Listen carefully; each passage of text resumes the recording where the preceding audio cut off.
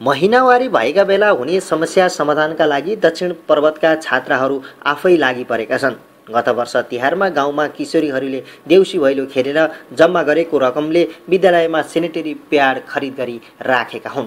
बिहादी गाउँपालिका पाँच उराम पोखरामा रहेको चन्द्र माविमा अध्ययन गर्ने किशोरीहरूले महिनावारी भएको बेलामा विद्यालय छोड्नुपर्ने बाध्यता भएपछि यस्तो उपाय निकालेका हुन्।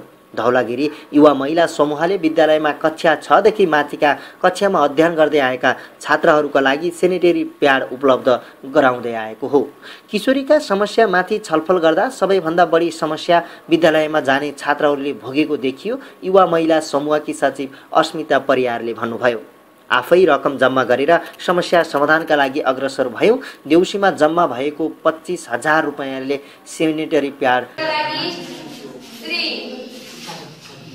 मञ्जना नेपाली प्याड वितरण गऱ्यौँ र त्यो अनि त्यसपछि सेनिटरी प्याड वितरण गरिसकेपछि रहेको रकमले हामीले आफ्नो कार्यालयलाई चाहिने विभिन्न सामग्रीहरू खरिद गऱ्यौँ विद्यालयमा छात्र र छात्राका लागि छुट्टै शौचालयको व्यवस्था भए पनि व्यवस्थित नभएका कारण समस्या रहेको उनीहरूको गुनासो छ।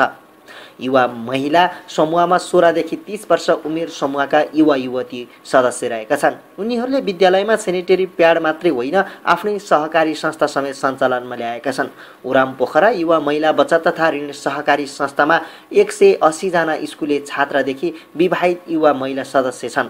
उनीहरूले दुई लाख रुपियाँ बचत समेत सङ्कलन गरेका छन्। सहकारीबाट ऋण लगानी गरी युवा महिलाले व्यवसाय समेत सञ्चालन गरी आफ्नो दैनिकी आवश्यकता पुरा गर्ने र बचत समेत गर्दै आएको सहकारीकी सदस्य लक्ष्मी भूषालले बताउनुभयो। युवा महिलाको कामलाई ओडाले समेत सहयोग गर्दै आएको छ। भन्ने बित्तिकै हामीलाई एकदमै सहयोग गर्नुहुन्छ र हाम्रा गाउँ ठाउँमा रहेका युवा दाजुभाइहरूले पनि हामीले यस्तो कार्यक्रम गर्दैछौँ है भनेपछि उहाँहरूले हामीलाई सम्पूर्ण व्यवस्था हामीले गरिदिन्छौँ। तिमीहरूले काम गर भनेर हामीलाई सहयोग गर- गर्नुभएको छ। र गठन समूह भनेको नै थाहा थिएन पहिला। अनि त्यसपछि समूह गठन गरिसकेपछि समूहमा बस्नुपर्छ भन्ने भावना भयो।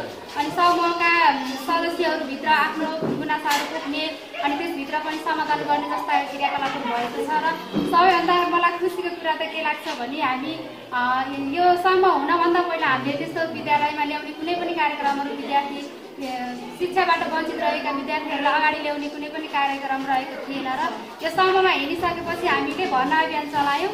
त्यसपछि भर्ना अभियानबाट एकजना नानी थिइन् उनको बाबुआमा नभएको कारणले उनी शिक्षाबाट वञ्चित थिइन् र उनलाई यही भर्ना अभियानबाट त्यसपछि स्कुल ल्याएर भर्ना गऱ्यो र इन्प्रे नेपालबाट हाम्रो सिफारिसमा स्कुलको सिफारिसमा हामीले उनलाई छात्रवृत्ति ड्रेस र उनलाई उनको लागि कपी किताबको पनि व्यवस्था गरेको र उनले अहिले उनको पढाइ एकदम राम्रो रहेको।